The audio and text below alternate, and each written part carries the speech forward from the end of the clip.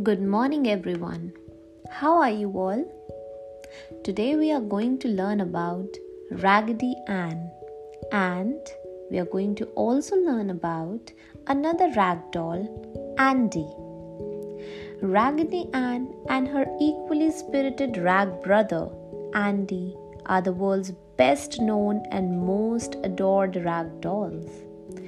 At the hand of their creator, cartoonist, illustrator, author, Johnny Gruelle, the Raggedy's weren't ever simply dolls. They were literary characters as well, possessing attributes and outlooks reflecting trustworthiness, kindness, and spunk. Because Gruelle was a natural born storyteller, it followed that his dolls would star in fanciful tales based on fantasy and make believe. On how Raggedy Ann was born. Let's listen to one of them. A small girl burst into her father's art studio, trailing a battered rag doll behind her. Panting, she tells Daddy about discovering the faceless doll in her grandmother's attic. Laying aside his afternoon's cartoon, the father picks up the doll. He studies her face for a moment before picking up his cartooning pen and applying a new face. He suggests that grandmother might be enlisted to sew on another shoe button to take care of a missing eye. Then, reaching for a volume of poetry behind his desk, the father browses through several by poet and family friend. Compressing the titles of two of his favorites, The Raggedy Man and The Little Orphan Annie, he asks his daughter, What if we call our new doll Raggedy Ann? Let's listen to other version of the story.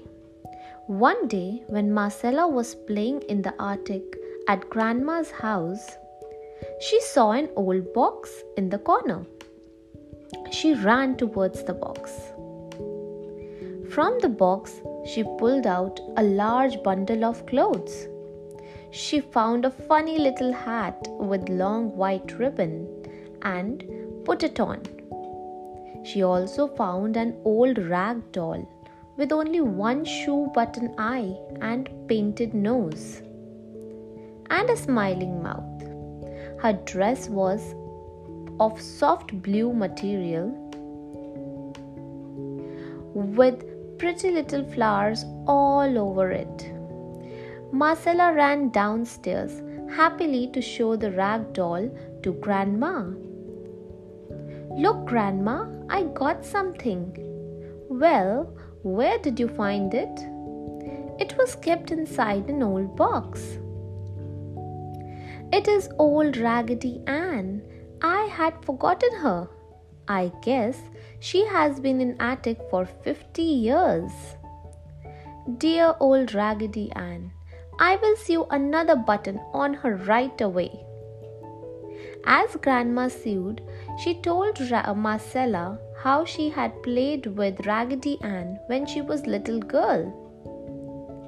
I loved playing, playing with Raggedy Ann. She was my most favorite doll. I hope you both will have as much fun together as you and I used to have. So, Grandma, thank you so much.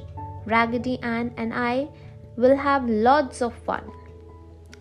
So, this was another version of the story how Raggedy Ann was made.